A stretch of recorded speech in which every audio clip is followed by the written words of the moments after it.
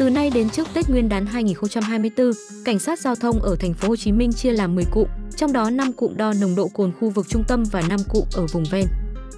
Mỗi ngày cảnh sát giao thông chia ra làm 4 ca, mỗi ca 6 tiếng, thực hiện kiểm tra nồng độ cồn theo kế hoạch trên toàn thành phố Hồ Chí Minh.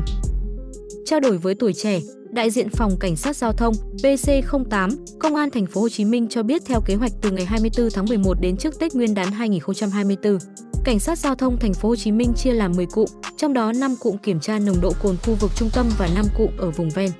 Các cụm được kết hợp giữa lực lượng cảnh sát giao thông quận, huyện, thành phố Thủ Đức phối hợp các đội, trạm thuộc PC08 ở gần nhau.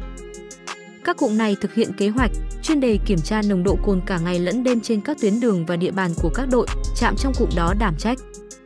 Việc triển khai theo cụm sẽ góp phần phòng ngừa, ngăn chặn, kéo giảm các vụ tai nạn giao thông do nồng độ cồn, chất kích thích gây ra. Một cán bộ cảnh sát giao thông ở thành phố Hồ Chí Minh cho biết việc đo nồng độ cồn vào ban ngày là thực hiện theo kế hoạch và vẫn phát hiện trường hợp vi phạm. Theo cán bộ này, ban ngày vẫn có người đi nhậu và vi phạm nhưng ít hơn so với ban đêm.